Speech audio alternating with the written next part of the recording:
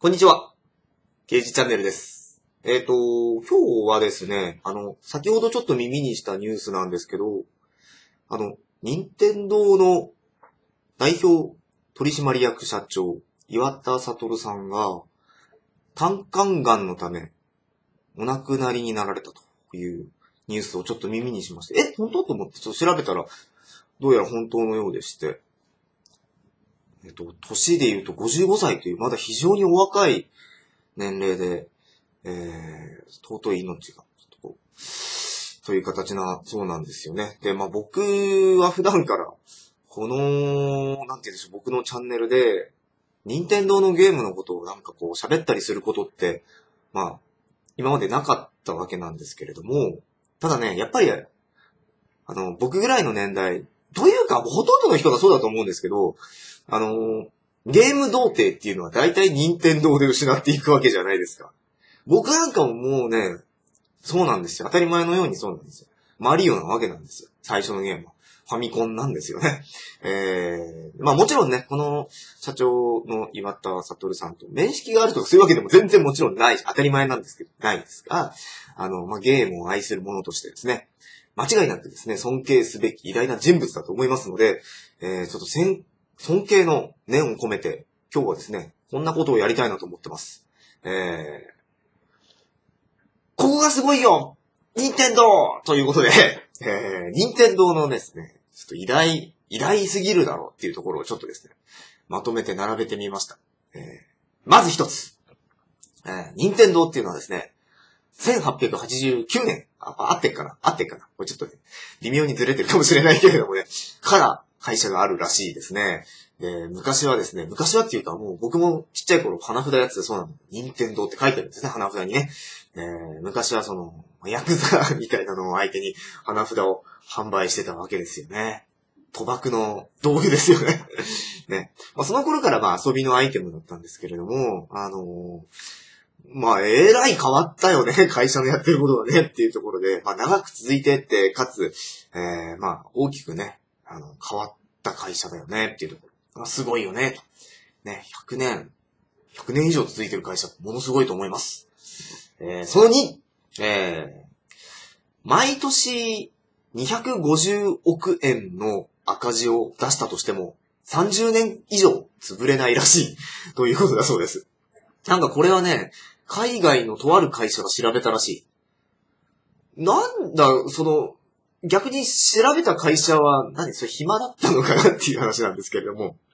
まあ、それはいいとして、なんか、すごい、凄まじいまでの、なんだろう。内部留保額というんでしょうか。貯蓄額というんでしょうか。ね有料企業すぎるということで。すごいですよね。えーその3、えー遊びに直結する、まあ今でいうゲームの基盤っていうのはもう、任天堂が全部作ったと言っても過言ではないんじゃないかなと思ってるのが、もう遊びに直結するような革新的なアイディアっていうのは、ほぼほぼ任天堂が出している。これ一見、ん？何のこと言ってんのって思っちゃうかもしれませんけど、例えばなんですけど、ゲームコントローラーの十字キーっていうのは、任天堂が最初に作ったわけですよね。LR ボタン。ね。今、プレステとかでも当たり前ですので、Xbox とかでも採用されてますよね。ここのボタンっていうのも、任天堂が最初に作ったわけですよね。スーパーファミコンであった。コントローラーの振動っていうのも今もうどのゲーム機にもついてるよね。あれないと寂しいんですよね。ね。でもこれも任天堂が最初にやってました。64かな確か。ね。アナログスティックもそうですし、えっ、と、携帯機同士の通信機能っていうのも昔ゲームボーイはですね、あの、通信ケーブルで繋いで対戦することができたんですね。そういう機能もですね、任天堂が最初ですし、タッチスクリーンもゲームに取り入れてきたのは任天堂が最初ですよね。3えっ、と、任天堂 DS ですね。えー、あとは裸眼立体視ということで、3D で見える画面っていうのも任天堂が最初にやってきた。これね、コントローラーの振動とかもそうなんですけど、最初ね、こんなもんいらねえよって思ったんですけど、だんだんね、こう月日が経つにつれて、それがなきゃダメなもんに変わっていったっていうことで、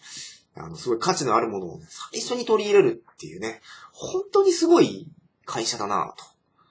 まあ、開発人とかね、そういう人たちがすごいなっていうところだと思うんですけれどもね。ほんとすごいんですよ。でですね、まあ、あの、岩田社長はこんなことを言ってたそうなんですが、ゲームをですね、豪華に複雑にし続けていけば、ゲームの市場はゆっくりと死んでいってしまうだろうということだそうでして、そういうことを言ってたと。で、これ、ほんとね、ほんとその通りになってますよね。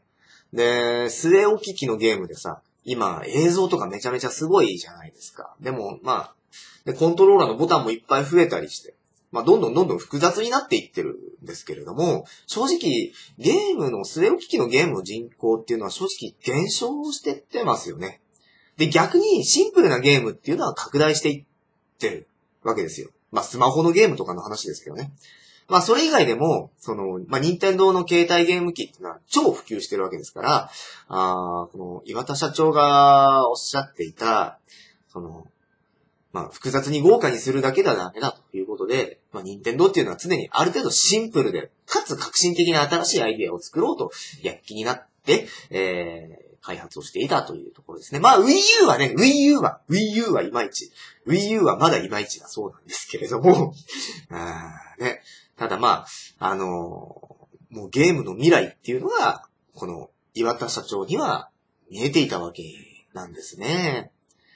で、まあ、ある程度ね、あの、岩田さんのこう、思い描いてた未来が、やってきた。要は今ですよ。やってきてて、岩田さんにはね、この先どんな未来が、この先どんなゲームの未来が岩田さんには見えてたんでしょうかね。ちょっとすごく気になるところではあるんですけれども、もうそれを知るすべはちょっとないんですけれどもね。はい。えー、まあ、ゲームの人口のですね、拡大を目指していた岩田さんのゲーム業界に対する功績っていうのは、あまりにも大きすぎたんじゃないかなと、あ個人的には僕は思っています。で、僕も、あの、こうやって YouTube を通して、えー、まあ、ゲームの人口が増えたらいいな、ゲームを楽しんでくれる人が一人でも増えたらいいななんて、ちょっとそんな思いで動画を作ってるんですけどね。岩田さんから比べたら、僕のやってることなんてあまりにも小さすぎて、正直恥ずかしくなるんですけれども、えー、まあ、こんな動画を作ってみました。尊敬しております。